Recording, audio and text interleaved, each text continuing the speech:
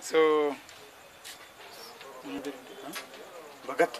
so Bhagath has done some uh, nice job. So we are just going to look into that.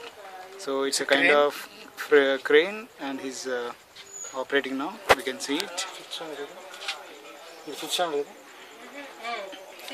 So he's currently six standard. Now you can uh, he's doing some hand movement here. So basically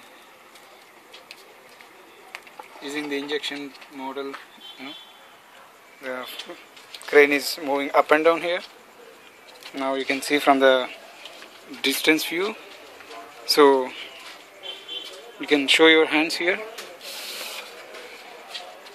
Now when he's pumping that with the hands you know that uh, you can see that the weight is getting up so it's very great to see and congratulations to Bhagath. Thank you